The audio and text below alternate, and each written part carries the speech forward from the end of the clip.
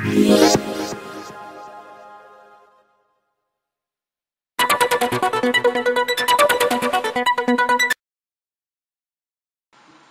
guys, and today I'm going to do a tutorial on um, this uh, trait, um, the color fading.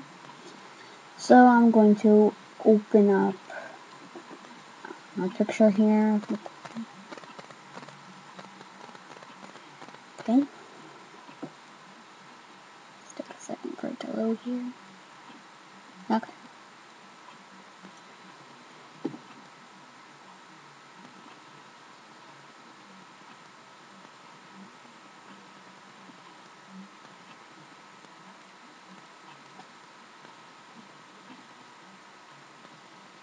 Okay.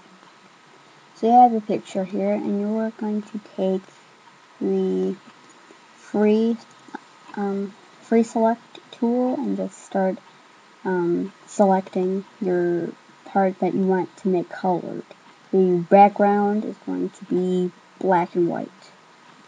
Now you can also do this with the circle and the square tool.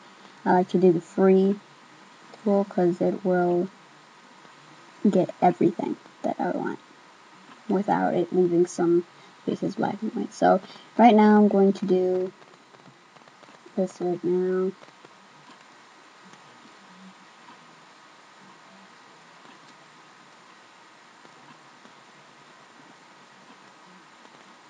Feel free to skip this if you want. It's almost done now.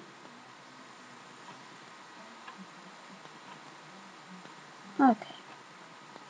Now, it should show this little road here.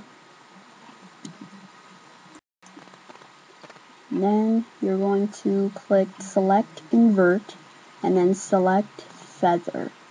Which I'm trying to find. Oh, here it is. Feather.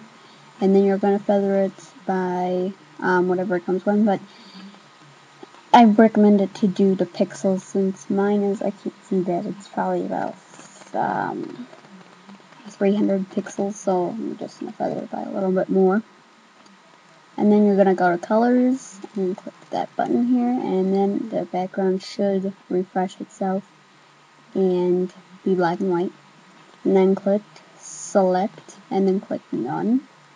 And there you go, the front image that you're focusing on should be colored, and the background image should be black and white. Thank you for watching. Subscribe, rate, and comment. And then once you're done, you can save this.